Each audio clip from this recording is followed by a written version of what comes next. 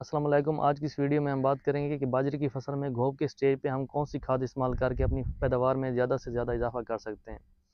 जो घोप का स्टेज होता है बेसिकली ये किसी फ़सल का वो स्टेज होता है जब हमारी जो बजाई के बाद फ़सल तकरीबन 40 से 45 से ले कर साठ दिन तक की होती है। इस दौरान जो हमारी फ़सल होती है, उसके तने में से एक चौरा सा पत्ता निकलता है, जिसे झंडा पत्ता भी कहा जाता है।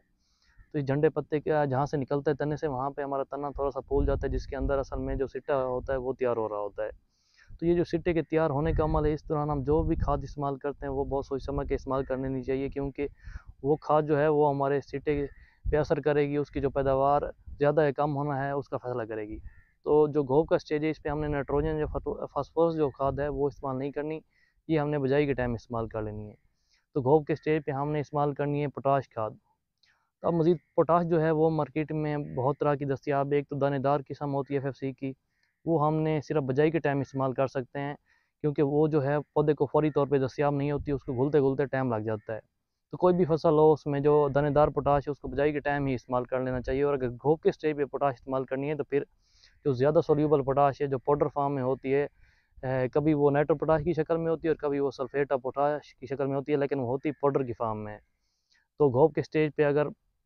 आपने ज़्यादा पैदावार लेनी है तो फिर जो पोटाश खाद है, उसका इस्तेमाल करना नहायत ही ज़रूरी है। तो अगर आपने फ्लड करके अपनी फ़सल में पोटाश खाद देनी है तो फिर या तो सल्फेट ऑफ़ पोटाश जो है पाउडर फार्म में उसका पचास के वाला अगर आपने बैग लिया तो एक एकड़ में पच्चीस के इस्तेमाल कर लें।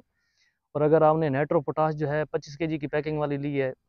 तो उसका आपने साढ़े बारह के जी तकरीबन एक एकड़ में इस्तेमाल कर लेना है। मज़ीद अपनी फ़सल की जो है उसकी हालत को देखते हुए आप ये डोज कम या ज़्यादा भी कर सकते हैं।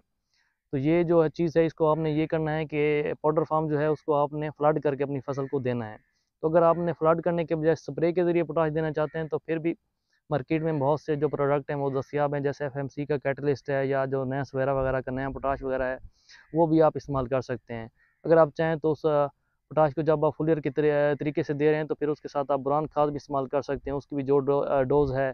ज़रूरी आपने एक पैकेट में जो भी मेंशन होगी, वो उसमें टैंक में साथ मिला के स्प्रे कर देनी है। कुरान का ये फ़ायदा होगा कि जो सिटे में हमारे दाने होंगे, वो वक्त से पहले गिरेंगे नहीं, बल्कि एंड तक जो सिटे के साथ रहेंगे तो इससे हमारी पैदावार में मज़ीद इजाफा होगा। तो आज की इस वीडियो में हमने बात की कि किस तरह हम पोटाश खाद का इस्तेमाल करके और साथ में अगर चाहें तो बुरान खाद का इस्तेमाल करके किस तरह घोप के स्टेज पे अपनी फ़सल को फ़ायदा दे सकते हैं, जिससे हमारा जो फ़सल है, उसके सिटे का जो साइज़ है, उसमें इजाफा होगा, उसकी जो लंबाई है वो ज़्यादा होगी और इसके साथ साथ उसमें जो दाने होंगे वो वज़नी और मोटे होंगे, जिससे हमारी जो पैदावार है उसमें यकीनी तौर पर इजाफा होगा।